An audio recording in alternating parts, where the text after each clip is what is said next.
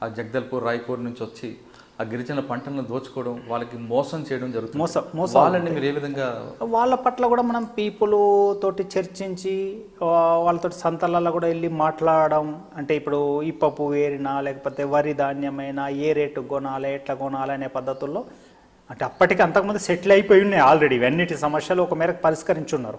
అయితే అది పూర్తిగా సమస్య పరిష్కారం కాదు. ఏదో మేరకు వీళ్ళని దోచుకుంటేనే వాడు ఎక్కువ లాభాలు సంపాదించుకోగలుగుతాడు. కాబట్టి ప్రతి సంతలాలకు పోయి వెళ్ళి సంఘ నాయకులు అంటే దళాలు పోవు. చాలా తక్కువ దళాలు పోవడం సంతలకి వాళ్ళు పోయి పీపుల్ పోయి వాళ్ళతో మాట్లాడతారు. సంఘ నాయకులు పోయి ఇగో ఈ రేటు కొనాలి. ఇగో పై బయట మార్కెట్లో ఈ రేటు ఉన్నది. ఇంతకంటే ఎక్కువ కొనవద్దు తర్వాత మోసాలు చేయొద్దు. మోసాలు చేస్తే తంతము ఇది అనేటువంటి పద్ధతులు కూడా చెప్తుంటారండి.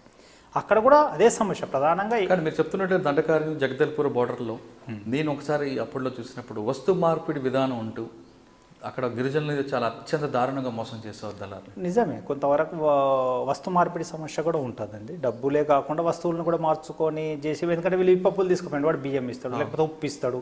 అటువంటి జరుగుతున్న దగ్గర కొన్నిసార్లు చెప్తాము. కొన్నిసార్లు జర మనకు తెలియకుండా కూడా జరిగిపోతూనే ఉంటాయి. ఇప్పుడు మొత్తంగా అక్కడ దోపిడీ అరికట్టబడ్డది అనేది అయితే చెప్పలేము. ఒక అది అటువంటి దోపిడీ వ్యవస్థని మీరు ఏ విధంగా వాళ్ళని కౌన్సిలింగ్ చేశారు? అంటే ఇప్పుడు మనం పీపుల్ తోటి అడుగుతామండి ఇగో నువ్వు ఇది తీసుకుపోయినావు ఇది ఎంత కొన్నాడు నీకేమి ఇచ్చిండు దీనికి బదిలీ?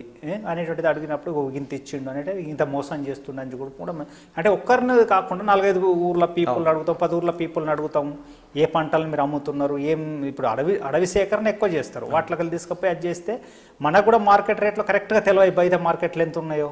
కానీ వాళ్ళతో రకరకాల పద్ధతుల్లో కొద్దిగా సమాచార సేకరణ చేసుకొని వీళ్ళకి న్యాయం జరిగే విధంగా వీళ్ళతో పీపుల్తో డిస్కషన్ చేస్తాం. ఇంకా మనకు తెలిసినటువంటి వ్యాపారులు ఎవరన్నా ఉంటే బయట ఏం రేట్లు ఉన్నాయి ఏమున్నాయి అనేటువంటివి కూడా తెలుసుకొని రేట్లు కనీసం సరైన రేట్లు. వాడు కూడా కొద్దిగా బతకాలి.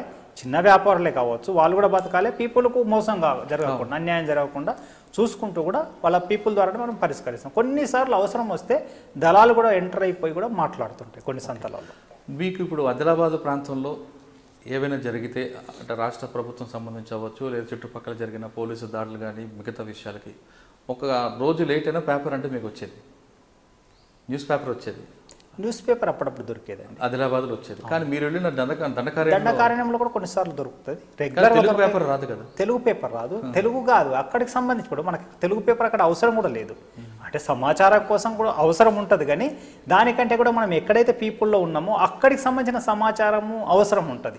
కాబట్టి ఇప్పుడు డీకేలో ఉన్నప్పుడు? స్థానిక భాషతో అవును. ఎందుకంటే ఇప్పుడు అక్కడ హిందీ పేపర్ వస్తుంది. హిందీ పేపర్లో వీళ్ళకి సంబంధించిన సమాచారం రాకపోవచ్చు కానీ అక్కడికి సంబంధించిన సమాజానికి సంబంధించిన సమాచారం అయితే మనకు తెలుస్తుంది. మనం ఏ ప్రాంతంలో ఉన్నామో ఆ ప్రాంతానికి సంబంధించిన ప్రజల సమాచారం అయితే తెలుస్తుంది.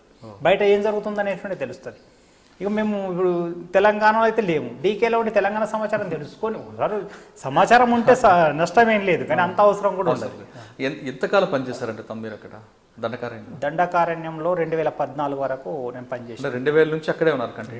కానీ అదే టైంలో తెలంగాణ అప్పుడు ఆంధ్రప్రదేశ్లో చర్చల పేరిట జరగడం అందరూ బయటికి రావడం జరిగింది. ఆ సమాచారం మీకు ఎప్పుడు అందింది? దాదాపుగా సమాచారము చర్చలు జరుగుతున్న క్రమంలో లేదనుకుంటే చర్చలు అయిపోయిన తర్వాత దానికంటే ముందటి నుంచి కొద్దిగా చర్చ ఉంటుంది కదండి. ఇట్లా చర్చలకు పిలుస్తుంది గవర్నమెంట్ పోవాలా వద్దా ఏంటిదా? ఆయా స్టేట్ కమిటీస్ డిసైడ్ చేస్తాయి. అంటే సీసీ మీ నోటీస్కి వచ్చింది అప్పటికి? మా నోటీస్ కానీ అంటే మాకు జరిగిన తర్వాతనే మాకు అర్థమైంది. కానీ అదే అదే సమయంలో పీపుల్స్ వార్ అనేది మావోయిస్ట్ పార్టీ కూడా అవతరించింది. ఆ సమాచారం మీకు అందింది అది మాకు చర్చలు జరుగుతున్న క్రమంలోనే అర్థమైంది. ఎంసీసీ తోటి పార్టీ చర్చలు చేస్తుంది. విలీనం కోసం అనేటువంటి సమాచారం ముందటి నుంచి తెలుసు మాకు. అంటే పీపుల్స్ వార్ మావోయిస్ట్ పార్టీలో విలీనం అవడం అనేది కరెక్ట్ అంటారు అప్పుడు? అంటే ఆ రోజైతే కరెక్ట్ అనుకోనే పార్టీ అంటే మాకు పూర్తి సమాచారం ఉండదు కదండి. మేము ఒక state committee members. Central committee చెప్తుంది సైద్ధాంతిపరంగా పరంగా మనకి ఏం సమస్యలు ఉన్నాయి ఏమున్నాయి కొన్ని సమస్యలు ఉన్నాయి వీటిని ఈ పద్ధతిలో పరిష్కరించుకోవాలనుకుంటున్నాము.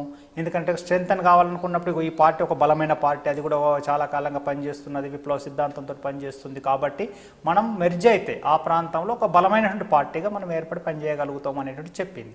కానీ ఆచరణ చూసినప్పుడు పీపుల్స్ వార్ ఆచరణకు మా ఎంసీసీ ఆచరణకు చాలా తేడా ఉందండి. అంటే లైన్ కరెక్ట్గా వచ్చిందంటారా? నేను అంటున్నా ఇప్పుడు ఇప్పుడు నాకు అర్థమవుతున్నది ఏంటంటే పీపుల్స్ వారు అందులో కలవడం సరైనది కాదు అనేటువంటిది నాకు అనిపిస్తుంది. దాంతో నష్టమే జరిగింది పీపుల్స్ వారు అనేటువంటిది నాకైతే అర్థమవుతున్నటువంటిది. అంటే అప్పుడు మాకు జ్ఞానం లేదు దానికి సంబంధించిన సమాచారం కూడా లేదు? Hello this is Renu Desai please subscribe to iDream subscribe iDream please subscribe iDream please subscribe to iDream for more videos subscribe iDream hi this is Revathi Chowdary for more videos please subscribe iDream for more videos please subscribe iDream. మీరందరూ కూడా I dream ఛానల్ని subscribe చేయాలని కోరుకుంటున్నాను. I'm Sucharita home minister of Andhra Pradesh for more videos subscribe I dreams